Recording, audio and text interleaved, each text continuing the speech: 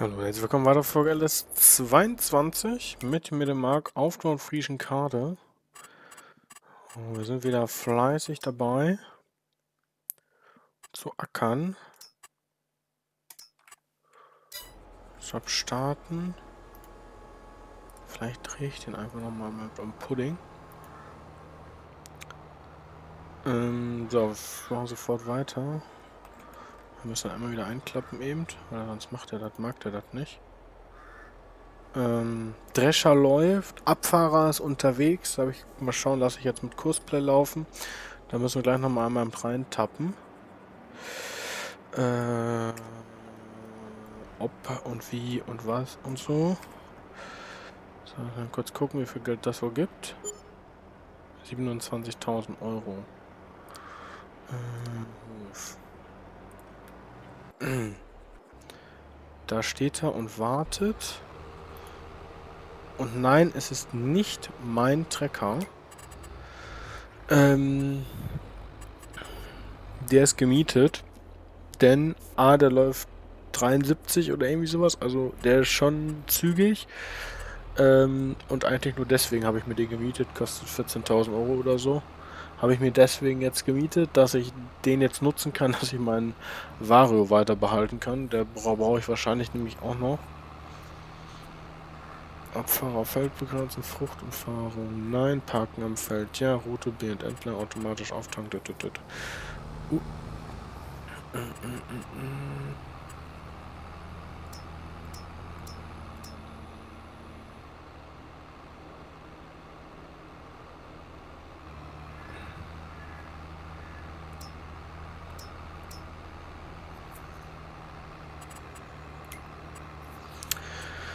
Linienhöhe, Traktor, das alles andere ist dann wieder uninteressant.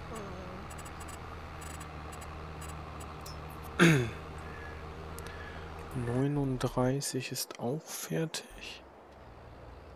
Das 39, das ist schön, denn dann kannst du nämlich wieder hierhin fahren.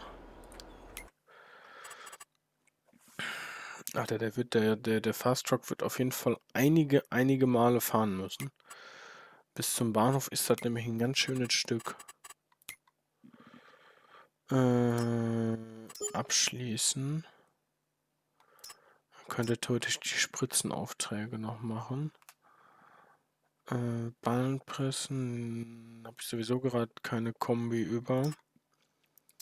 BGA, Gärtnerei, das, die könnte man noch mitmachen, 25.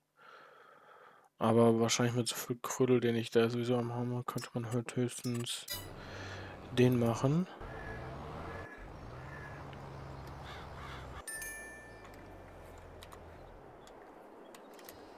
Der ist halt auch unheimlich zügig. Ich will den aber eigentlich nicht vor den Dingen spannen. Vor dem Ich überlege halt ein bisschen Stroh zu sammeln. So zwei, drei, vier Ladewagen vor. Jetzt ist halt nur die Frage, mit welchem. Mit dem glaube ich nicht, da werde ich mich jetzt die Spritzenaufträge mitmachen. Dann werde ich das, glaube ich, mit dem Mercedes machen. Ach, mit dem Mercedes, mit dem mit dem Vario. Äh, da ist sowieso nicht so viel drin. Egal. Spritzen 7,6 muss er hin. Da fährt er jetzt einfach erstmal hin, dann richte ich den so ein, dass er, wenn er was hat, selber was holen fahren kann. Aber wenn er jetzt zu 7 und 6 fährt, könnte man halt einfach den erst zum Bahnhof schicken und dann einmal voll machen. Äh, Einkauf, Bahnhof.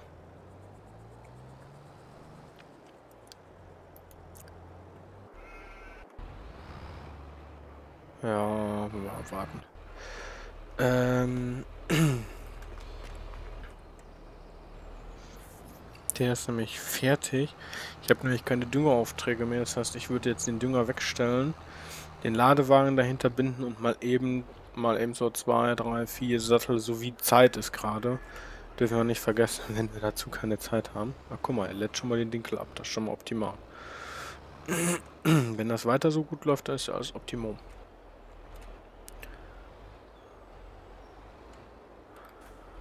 Sicherlich kriege ich gleich auch wieder äh, Klamotten. Ähm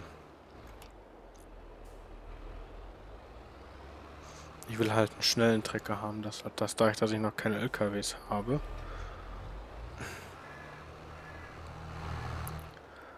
Äh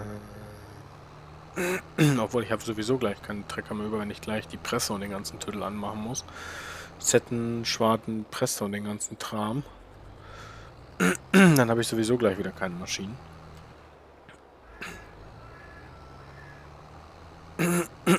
habe ich da noch einen anderen irgendwie in der Nähe? Ein Kur, einen Punkt, wo ich den hinschicken kann? Theoretisch könnte ich den einfach auf die 42 schicken, das direkt gegenüber. Dann hätte ich nämlich nicht das Problem. Ist beim Bahnhof angekommen.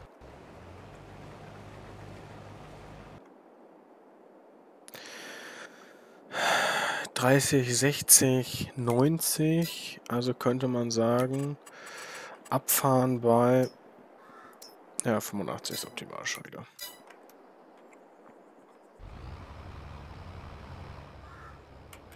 Der fährt auch noch hier hin. Katastrophe. Jetzt wollen hier aber wir alle hin. Wenn ich jetzt wissen muss, wo man spritzen müsste. 7 und 6 war das.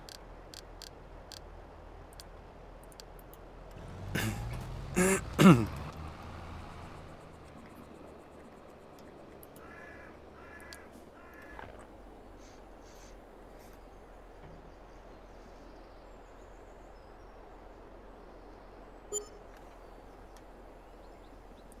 fährst du mich jetzt wieder zum Bahnhof, äh, zum Hof. Zack.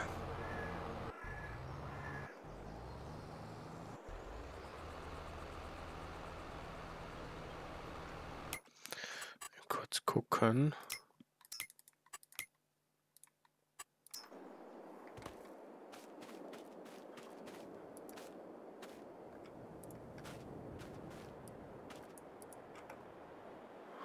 Söhle.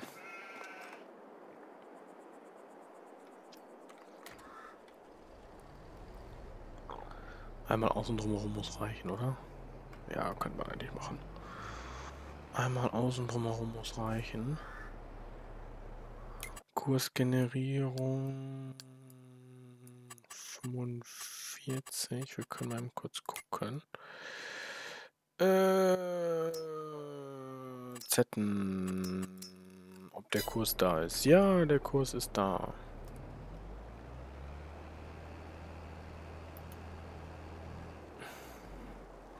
Könnt ihr mal mal ausklappen, ob das der kaputte Kurs ist oder ob das der gute Kurs ist. Ah, das ist der kaputte Kurs. Siehst du sowieso schon. Ähm, richten wir den mal eben kurz ein. ja, wir speichern jetzt erst den alten Kurs ab. Zetten, ändern, Eintrag löschen, aktivieren. Kursgenerierung.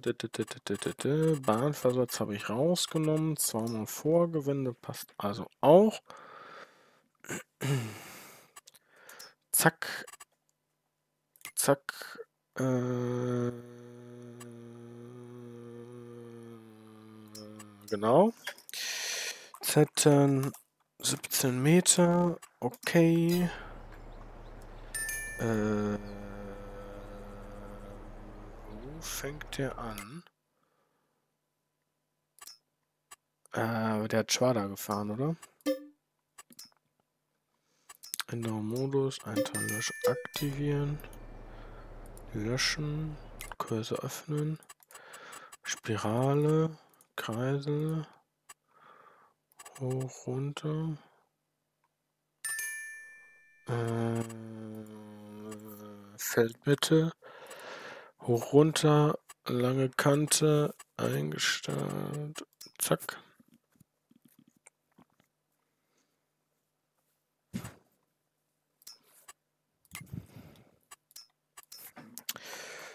Zetten 17 Meter, okay.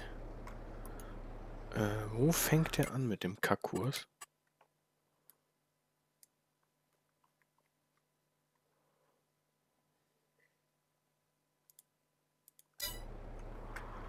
Ach, der hat erst die Bahn rein. Aber weißt du was? Fang doch einfach an. Ich gehe davon eher aus, dass der schneller fertig ist. Von daher mache ich mir jetzt keinen großen Wirbel. ähm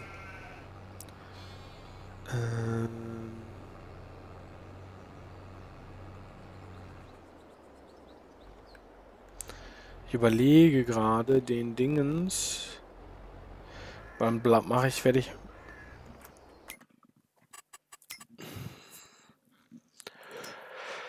Äh, 313 PS. 313 zu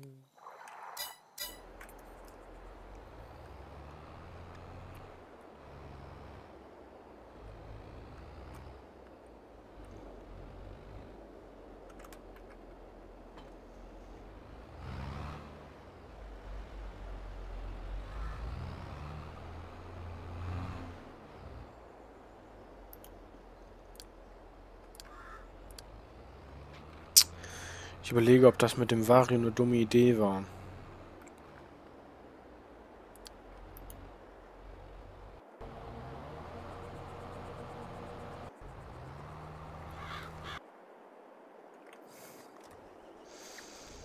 Überlege, ob das eine dumme Idee war.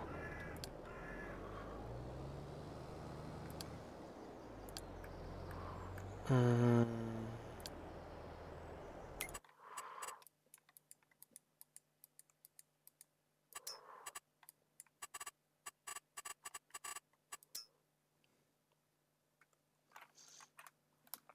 Denn äh,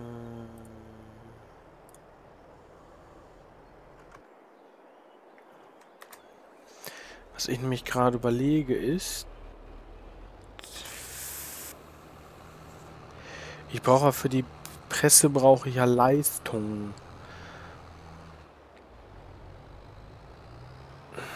Wir dürfen auch nicht vergessen, ich werde wahrscheinlich die nächsten zwei Minuten sowieso nicht pressen fahren, gehe ich davon aus.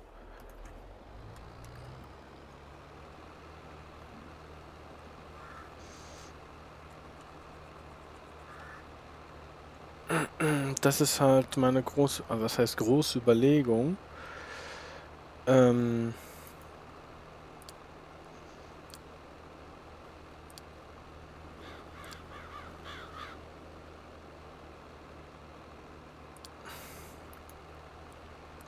ich brauche halt theoretisch jetzt Leistung für die Presse. Und ich überlege gerade, wenn ich die Presse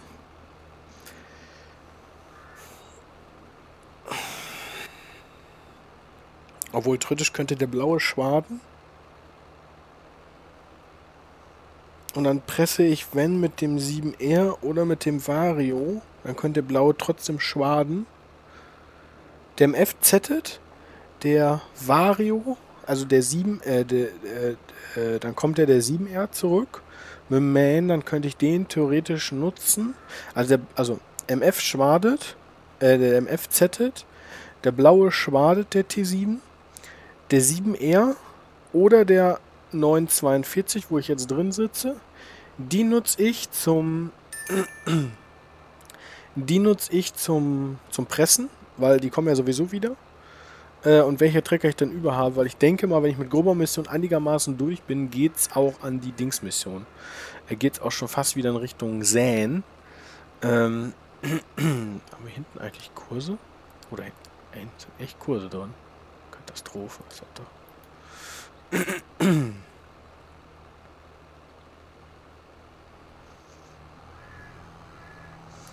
ich den jetzt hier runter schicke, fährt er hier runter. Ich hoffe es einfach mal. Äh, der braucht den ja nicht. Der braucht nur den Kurs. Wir gucken mal kurz beim Dinkel vorbei. Ja, läuft hier an der Kante ist jetzt ein bisschen schwierig, aber läuft, wenn man mal ganz kurz eben ein bisschen anpackt. ähm, denn Weil sonst habe ich, sonst könnte es mit den Treckern, glaube ich, nicht passen. Das halt. Meine größte, meine größte Besorgnis ist eigentlich, dass ich für die Presse nachher zu wenig Leistung habe und die dann ewig brauche. Auch wenn der T7E zurückkommt oder der Vario E gerade nicht so wilde Sachen macht, weil ich gehe davon aus, dass ich mit, mit, mit Pressen und Säen relativ eng jetzt gleich ineinander rutsche. Oh, dann ist ja, wenn er mit Säen fertig ist, ist ja auch der Dings eigentlich fertig. Der, der 8R. Aber 8R pressen ist auch so eine Sache. Weiß ich nicht. Weiß ich nicht. Ähm, Wäscheabteilung. Warte auf Platz. Auf Ruf warten, okay. Ähm. Gut, das läuft so oder so. Dann werden wir das mal volllaufen lassen. Kann der nämlich danach wieder zum Hof einfach fahren.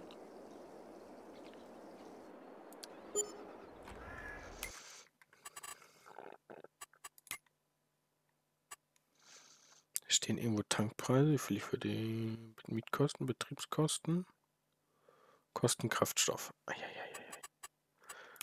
Da. Äh, verbrauchter, verbrauchter Kraftstoff in Litern. Alter, 10.000 Liter Kraftstoff schon verbraten hier auf der ja, passt schon, gut. Aber hier läuft halt auch immer Klamotten. Das halt echt Wahnsinn. Ja gut, dann werden wir das erstmal dabei so belassen. Torion. 639. Was ist denn der Torion?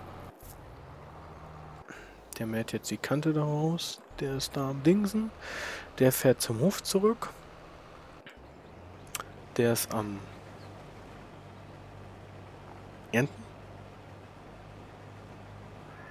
Wir dürfen unsere Flächen nicht vergessen, die sind jetzt sowieso auch reif. Hm, gut.